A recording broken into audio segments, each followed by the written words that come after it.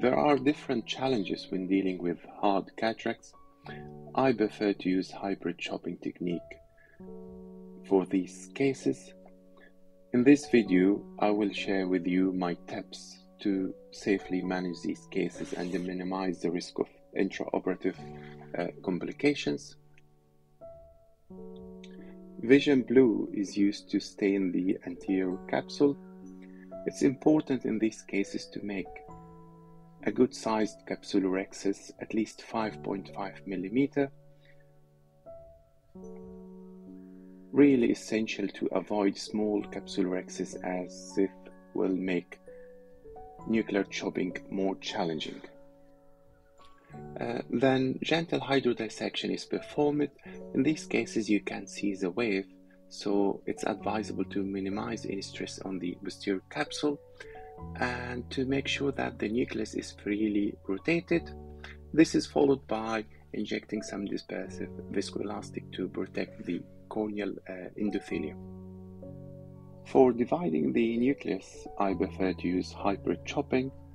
I start on sculpt mode and make few buzzes in the nucleus till I reach about two thirds of the nucleus, till I make sure that I have a good grip of the nucleus. Then I change to high vacuum mode and horizontal chopping is effectively done. This hybrid chopping technique is usually effective in dividing the nucleus. Also, there is a good control of the chopping force. It has the advantage to minimize uh, any stress on the zonules. Also, there is a minimal chance to have any undivided uh, posterior nuclear chip which is sometimes encountered when only horizontal or vertical choppings are attempted. Then I make two or three further chops of the nucleus, and once I have three quadrants, I start emulsifying them. This helps to create more space and minimize any stress on the zonules with uh, further uh, chops. Then the nucleus is further divided into smaller fragments, which can be effectively emulsified. I try to keep the phaco tip on the central 4mm safety zone, and the vacuum will bring the quadrants to the uh, phaco tip.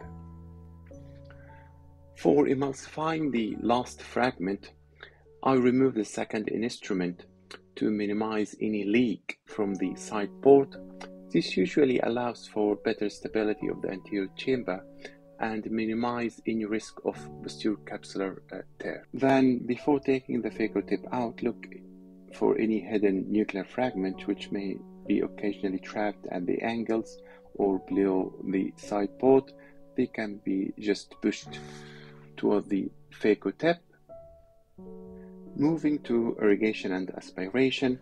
In these dense cataracts, there is usually only little cortical matter left.